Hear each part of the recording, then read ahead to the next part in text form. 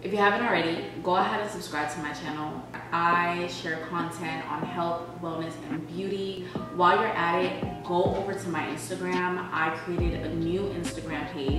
On that Instagram, I share content on health, wellness, and beauty as well, but that is content that I don't share here on YouTube. So if you're interested in any of the content that I have here, head over to my Instagram. Go ahead, like a picture, follow, go and show some love over there.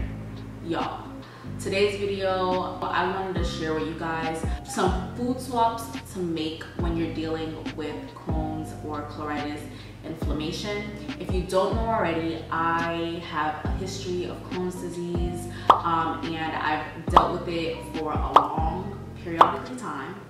And I've made a ton of adjustments to my diet these swaps have made a huge difference in my inflammation and just dealing with the disease as a whole. At the time, every gastrologist that I visited, every doctor's appointment that I've had where I wasn't in remission, I was always told, you know, low residue diet don't eat this, you can have that, but you can't have this. And it was always a list of things that it just seemed like, damn, I can't eat anything. Because if I eat anything, I'm gonna have pain, I'm gonna have constipation, I'm just going to have a miserable quality of life. And at the time, I wish I had someone that could just point me in the right direction. So that's what I wanna help you guys do.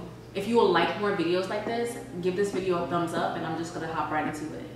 The first food swap that I made is eating porridge or like hot porridge instead of breakfast cereals. So that could be oat porridge, that could be cream of wheat. A, a lot of gastrologists tell you that having fiber isn't good when you're having a flare up or you're having inflammation when it comes to Crohn's and colitis. And even though oatmeal does have a bit of fiber, it is considered a meal that you could eat that is included in your low residue diet. Oatmeal is always a good swap because there's nothing added. It's just plain oatmeal and everything that you add into it, you're doing it yourself. It's not like cereal that's filled with sugar, um, filled with processed things, filled with chemicals that help it preserve its shelf life has less cholesterol, less sugar, less fat, and it keeps you fuller for longer. Oatmeal is also going to, because it's liquid and because it's hot, it is also going to coat the lining of your stomach so it is something good to have for breakfast. Oatmeal is so ideal for treating inflammatory conditions whether that information is in your gut or any other part of your body because it is filled with vitamins and minerals. One of the main vitamins and minerals that is in, in oatmeal is manganese, manganese, manganese. I don't know if I'm saying that right, but manganese, I'll spell it out here somewhere. Um, but it, manganese helps swelling and inflammation as opposed to cereal that is just processed, filled with fat, sugar, and things that you just don't want inside your body. The next food swap that I've made and that has helped me so much is having healthy fats as opposed to vegetable oil. You wanna have healthy fats like coconut oil, avocado oil, grapeseed oil, um, olive oil, ghee, vegetable oils like canola oil or like mixed vegetable oils contain poly and saturated fatty acids which when those acids are heated up can cause inflammation in your digestive tract. And I found that when I made that swap from using vegetable oil, canola oil to using avocado, rapeseed, coconut oil, ghee, I found such a reduction in just pain itself after I ate a meal. Um, it, it just made a wonder of difference in how I felt after I ate. I don't cook with a lot of oils and olive oil is one oil that I don't really heat up. I guess I could save that for another video. If you do have to use oil in your food or in your cooking, choose a healthy oil. Nut or oat milk instead of cow's milk. So y'all, if you have IBS if you have Crohn's, if you have pleuritis, cow's milk, lactose is something that you should stay away from, whether you're lactose intolerant or not.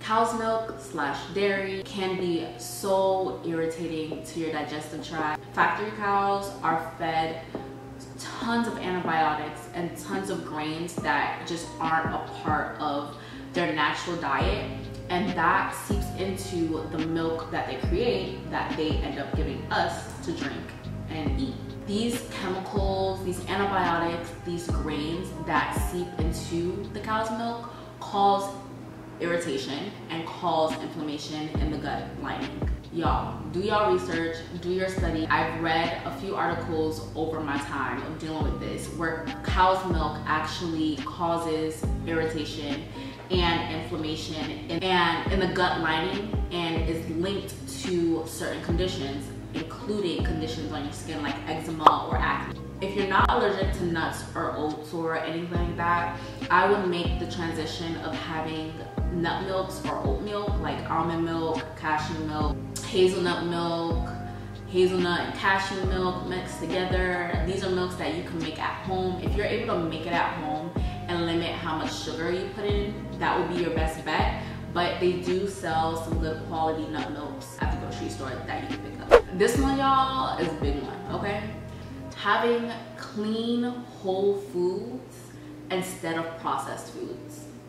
Stop eating foods that are processed. I know it's tempting because like sometimes you feel really good, you're not having any issues, so you eat whatever you want because it's not causing any pain or discomfort or anything like that. So you just end up just eating what you've been desiring for so long because you stopped eating certain things. But just please stop eating processed foods. And by processed foods, I mean foods like flavored potato chips, fried chicken, um, mashed potato in a box, macaroni and cheese in a box. Processed foods contain way more than your recommended daily intake of fats, sugars, um, calorie, and processed foods has large amounts of salt and chemicals and just unpronounceable names. Like you shouldn't be eating anything that you look on the back of the box on the ingredients and you can't pronounce the name.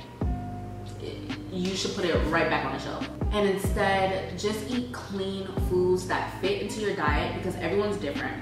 Everyone's not gonna have the same um, the same response to certain things. There's certain things that I'm able to eat. I have a friend that has Crohn's disease as well that she can't eat at all, and vice versa. Eat whole foods that fit into your diet and cook as much as you can at home. Don't eat on the street. Minimize how much you eat in restaurants. I know, it's, well, it's not difficult now with the Rona, but minimize how much you eat in restaurants. If you switch up the menu at a restaurant, do that. Eating clean and eating whole foods, you're in charge of the ingredients you put in. You're in charge of how much salt you put in, uh, how much sugar you put in. You're in charge of literally everything. You should be eating whole foods like vegetables, meats, seafood, herbs, garlic, organic eggs, certain grains, avocado, bananas, the list goes on and on. And also that, that list could change depending on what's irritating to you. Those are things that I could eat that doesn't cause any irritation or any inflammation in my body. Just please stay away from processed foods and fast foods as much as you can. Like making that simple switch is going to be a life changer for you. This one is another big one. Switch out refined sugars for, for natural sugar like honey or maple syrup. So from my years of dealing with this disease, I found that sugar is just the worst. I have limited my sugar so much. Like I found that when I intake a lot of sugar, I start to feel a little bit off. Sugar could change the balance of the bacteria in your gut. That's why it's always good to take a probiotic, but that's a different video. having a, a, imbalance of the bacteria in your gut can aggravate your symptoms depending on the type of symptoms that you have. Eating processed sugars raises the insulin in your body and that rise of insulin actually puts your gut in a stressful situation because it's working overtime to try to process what you just consumed. It could actually be more aggravating and could cause more inflammation and spark your flare even more. And I found that sugar just triggers my inflammatory response. So I just stay away from sugar as much as I can. If I do have to use sugar, I personally made the switch to a natural sugar like maple syrup or honey.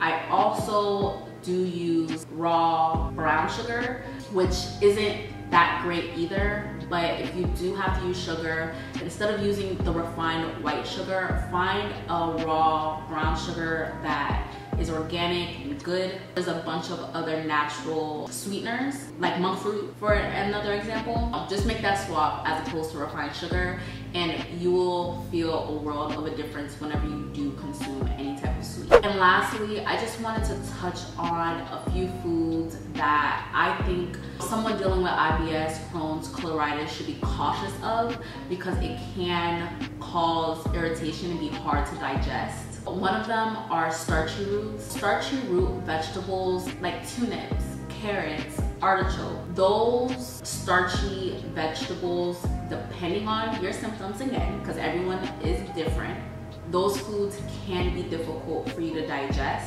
Vegetables high in fiber. All gastrologists say limit your fiber, limit your fiber, and that could be difficult.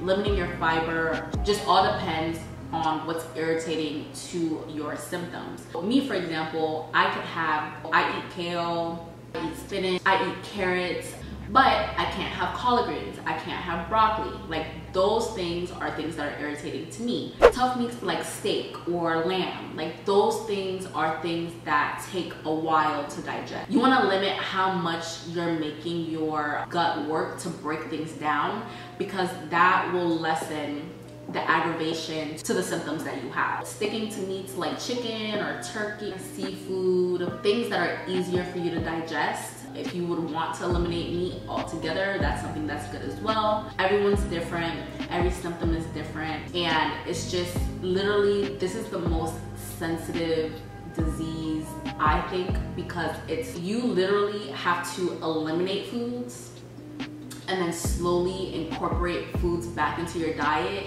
so that you know what's aggravating to you or not. That's all I have for today. Thank you so much for watching. I really hope you enjoyed it and I really hope this helped in some way, shape, or form. If you like more videos like this, give this video a thumbs up. As of right now, I am in remission. Uh, I'm not on any medication. I haven't been on any medication for the past five years. I've just been being very cautious of my diet and the supplements that I take. If you would like me to share that with you, I definitely can. If you made it this far, go ahead and subscribe. I appreciate it. Thank you so much for watching.